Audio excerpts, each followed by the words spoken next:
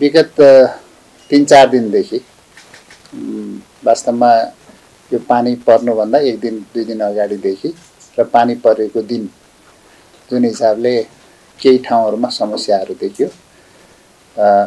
यो समस्या चाहिँ देशभित्र सबैतिर देखिएको समस्या होइन काठमाडौँ मात्रै हो।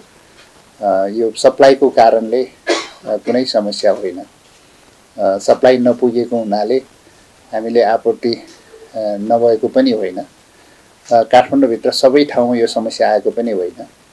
केही लिमिटेड ठाउँहरूमा चाहिँ यो समस्या आएको थियो। वास्तवमा हामी हाम्रो विद्युतको बेलुकाको पिक लोड चाहिँ अहिले करिब सत्र सय मेगावट र बिहानको करिब साढे पन्ध्र सयदेखि सोह्र सय मेगावट पिक लोड आइरहेछ। त्यसमा हामीले सप्लाई गर्न सकि नै रहेछौँ। त्यसमा कुनै समस्या होइन। केही नपुगमा हामीले केही इम्पोर्ट गर्नुपर्ने हुन्छ। हाम्रो कालिकन के अरे अप्पर तामाकोसी आइसकेपछि पिकिङको लागि पनि बेलुकाको पिक र बिहानको पिकलाई पनि हामीलाई धेरै सहज भएको छ। र हामीलाई इम्पोर्ट चाहिँ पिक टाइममा भन्दा पनि हामीले अफ पिक टाइममा केही बढी गर्छौँ। हामीले यो हाम्रो पिकिङ हाइड्रोको चाहिँ हामीले पानी जम्मा गर्नको लागि कालीगण्डकी मर्स्याङ्दी र अप्पर तामाकोसी लगायतको पानी हामी जम्मा गर्छौँ र पिक टाइममा हाम्रै पावर प्लान्टहरूबाट पिकिङ चाहिँ हुन्छ। त्यो भएको हुनाले हामीलाई अलि विगत वर्षहरूभन्दा धेरै नै सहज छ। तर यो काठमाडौँमा यो जाडो बढी लगत्तै लोड बढ्नु त स्वाभाविक हो लोड बढ्छ नै।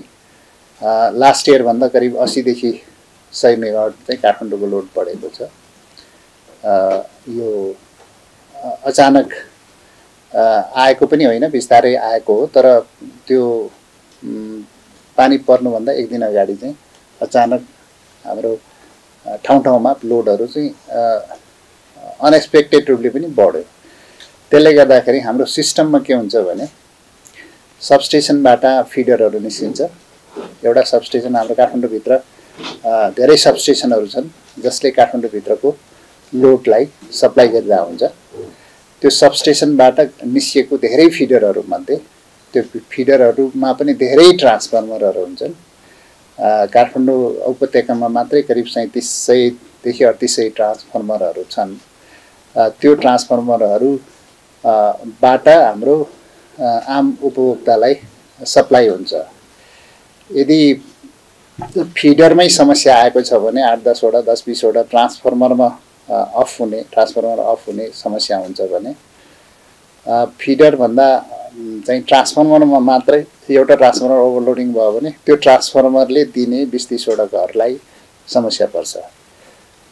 अहिले चाहिँ मेजर समस्या अस्तिको पानी परेको बेलामा ट्रान्सफर्मरहरू ओभरलोड भएको समस्या जुन वितरण ट्रान्सफर्मर घरको नजिकै अगाडि राखेको ट्रान्सफर्मरले हामीले पचास साठीवटा पनि दिएको हुन्छ बिस तिसवटा पनि त्यो लोड हेरेर दिइरहेका हुन्छौँ।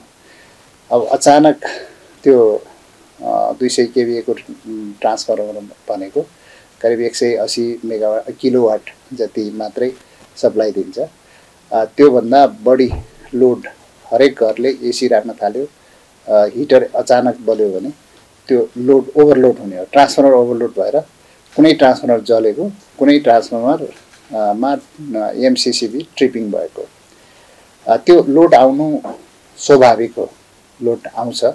त्यसलाई हामीले लोड आएको अनुसार हामीले त्यसलाई ट्रान्सफर्मर अपग्रेड गर्ने र ट्रान्सफर्मर थप्ने काम गरिरहेको हुन्छौँ।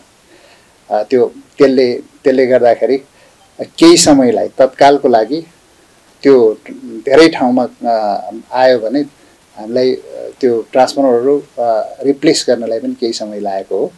र केही फिडरहरूमा पनि आग लागि पनि भयो। जस्तो सिंहदरबारभित्रको फिडर एउटा चाहिँ आग लागि भयो। आग लागि भएर करिब करिब त्यो हामीलाई मर्मत गर्नलाई एक दिन लाग्यो।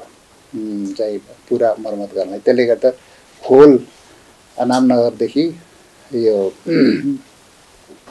यो दिल्ली बजार एरिया चाहिँ मा समस्या आयो। त्यसले त्यो पनि एउटा समस्या केही फिडरहरूमा। र केही ठाउँमा चाहिँ ट्रान्सफर्मर पछि पनि हाम्रो जुन केबलहरू जान्छ घर घरमा जान्छ त्यो केबलहरू चाहिँ मा आग लागि भएको ले गर्दा त्यो केबल फेर्नलाई केही समय लाग्यो। त्यसले गर्दाखेरि त्यो एरियाको सप्लाई गर्नलाई हामीलाई अलिक टाइम लाग्यो। त्यो त्यो समस्या हो। अहिले हामीले तत्कालै ट्रान्सफर्मरहरू फेरिरहेछौँ। विगत दुई तिन महिनामा हामीले करिब करिब डेढ सयवटा ट्रान्सफर्मरहरू थपेको रहेछ काठमाडौँमा। ट्रान्सफर्मर भनेको चाहिँ लोड अनुसार थप्दै जान्छ। अब ब हिउँ हिउँदयाममा लोड बढ्ने हुनाले बर्खायाममा हाम्रो फिफ्टी पर्सेन्ट लोडिङमा मात्रै भएको ट्रान्सफर्मर अहिले चाहिँ ओभरलोडिङ भएको अवस्थाहरू छन्। त्यो हामी चेन्ज गर्छौँ चेन्ज गरिरहेछौँ। चेन्ज गर्नलाई केही समय लाग्ने हुन्छ। त्यो चेन्ज गर्ने बेलामा फेरि त्यो ट्रान्सफर्मर मात्रै चेन्ज गर्ने सक्ने स्थिति हुँदैन।